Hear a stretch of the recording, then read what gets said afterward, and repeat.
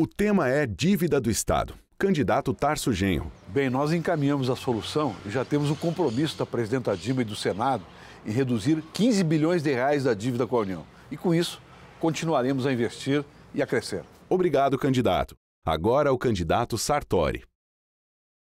Sartori não foi aos debates da Rádio Gaúcha e da TV Bandeirantes. O que esperar de um candidato que não debate suas ideias, nem explica suas propostas?